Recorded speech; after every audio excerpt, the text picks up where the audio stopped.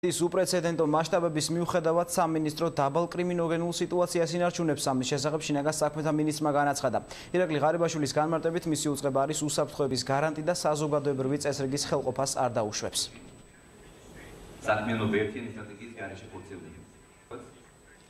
დავად უპრეცედენტო შეწყალებისა და ასევე განხორციელებული ამნისტიის ფონზე სამინისტრომ შეინარჩუნა დაბალი კრიმინოგენული სიტუაცია და კიდევ უფრო აძლიერებს სამმართველობით მუშაობას.